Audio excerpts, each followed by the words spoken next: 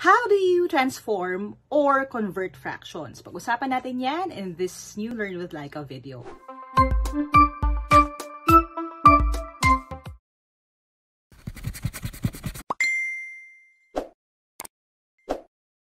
Now, very important na skill ang pagtatransform ng fractions, lalo na kung kailangan mong mag-add o mag-subtract ng fractions.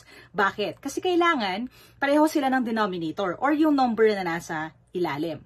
So, sa case na ito, yung 1 half, kung kailangan kong gawin na over 6 siya, ganito ang kailangan mong gawin. Titingnan mo yung denominator na gusto mong maging. So, 6. I-divide mo siya sa 2. So, 6 divided by 2. Tapos, i-multiply mo siya sa number na nasa taas, which is 1. So, 6 divided by 2, which is 3 times 1, that would be 3. So, ang 1 half ay pareho lang sa 3 over 6. Alright? Now, it's your turn. Paano ito? Comment nyo nga and don't forget to follow me for more. How do you convert mixed numbers into improper fractions? Now, look at this number that we have right here. We have yung tinatawag nating mixed number dahil meron siyang halo or mix ng whole number which is 2 at ng fraction which is 4 over 5. Now, paano natin siya gagawing improper fraction? Ano muna ba ang improper fraction? Ang improper fraction ay isang fraction na mas malaki ang number niya as a numerator kaysa sa number na nasa ilalim or yung denominator. And hindi ito ang ideal na pagsusulat ng fraction. Kaya meron tayong cases na kailangan nating i-convert or i-transform yung mixed number into improper fraction at yung improper fraction into a mixed number, which we're going to talk about next time. Now, dito muna tayo. 2 and 4 over 5. Paano ko siya gagawing improper fraction? Simple lang yan. Iikutin mo lang. Okay? So, you start with the 2, tapos iikutin mo siya pataas. 2 the first thing that you're going to do is to multiply it by the denominator times 5, which will give you 10. Tapos, iikot mo uli, doon siya sa 4. Ang gagawin mo naman this time is to add. So, 2 times 5, which is 10, plus 4, 10 plus 4 is 14. And now you have 14, tapos ilalagay mo lang yung same denominator, 14 over 5. So again, ikot, ikot lang. Alright? Now, it's your turn. Paki-convert nga ito into an improper fraction. How do you turn an improper fraction into a mixed number? Last time, napag-usapan natin kung paano i-convert yung mixed number or yung number na may whole number at fraction into an improper fraction or yung fraction na mas mataas yung number na nasa taas kaysa sa nasa baba. Ngayon, baliktad naman. And why is it important? Kasi sa maraming mga exams, kailangan mo rin na ibalik ito sa mixed number after you solve yung problem. Dahil sa options, probably mixed number yung mga nakalagay. So, anong gagawin natin? The first thing that you need to do is to divide 8 by 3. 8 divided by 3 is 2 remainder 2. Ano ibig sabihin ng 2 remainder 2? Dahil ang dalawang 3 ay 6, may tira ka pa or sukle na dalawa.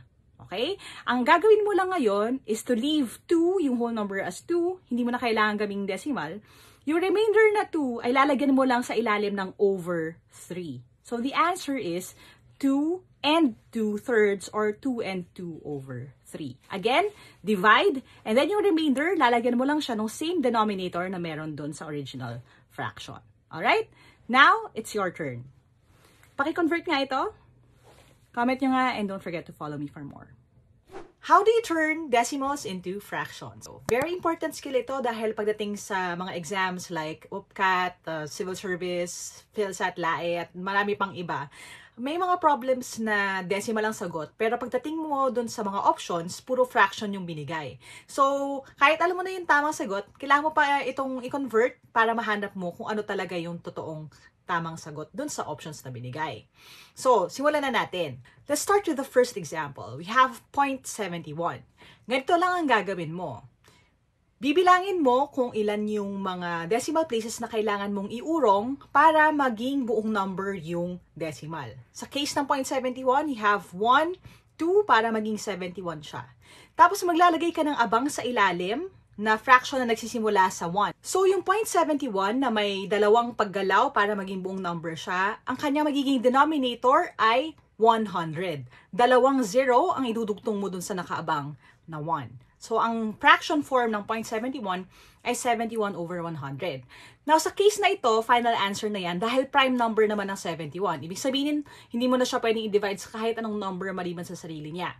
At sa number na 1. Hindi mo na pwedeng i-reduce yan sa lowest terms. Now, paano kung hindi naman prime number? Let's take 0.4.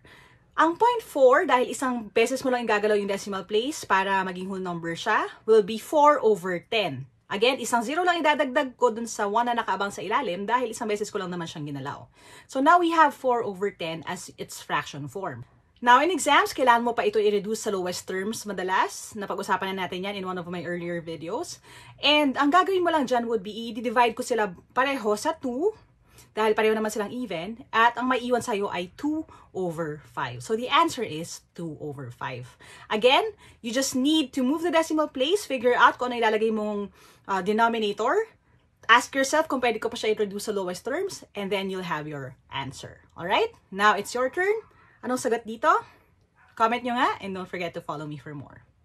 How do you turn fractions into decimals? Pag-usapan na natin dati kung paano ginagawang fractions yung mga decimals, ngayon baliktad naman. Yung mga fractions naman, sila naman ang magiging decimals. Now, let's take this as an example. We have 4 over 5. Ang 4 over 5, binubuo siya ng 4 as the numerator, yung number na nasa taas, and 5 as the denominator or yung number na nasa ilalim. Ang gagawin lang natin is i-divide natin yung numerator or yung 4 by yung number na nasa ilalim or denominator which is 5. So, 4 divided by 5. Now, dito na papasok yung familiarity natin when it comes to the process ng pagdi-divide ng mga numbers, especially kapag sila ay mas maliit kaysa sa number na pinagdi-divide natin sa kanya. So, ang 4 divided by 5, ang gagawin lang natin dyan, dahil mas maliit ang 4 sa 5, ay lalagyan natin siya ng decimal. So, 0 point na siya, tapos this will give us permission na magbaba ng 0 dun sa 4. So, yung 4 magiging 40. And 40 ngayon, divided by 5, pwede na siya. 40 divided by 5 is 8. So, the answer is 0.8. Kaya ang 4 over 5 ay 0.8. Again, i-divide mo lang yung numerator sa denominator. Okay? Now, it's your turn. Turn this into yung kanyang decimal form. Comment nyo nga, and don't forget to follow me for more. Alright, so thank you for watching till the end of this video. If you want to learn more, if you want to watch the other videos I'm going to be making, don't forget to hit subscribe and hit that bell icon. Turn your notifications for all the updates that we have. Again, marami pa tayong pwedeng pag-usapan soon. And uh, thank you for joining the team. I know this community has been kind to me for the past six years now, and I'm so happy that I get to welcome you as part of this team as well. Thanks, guys, and uh, I'll see you soon.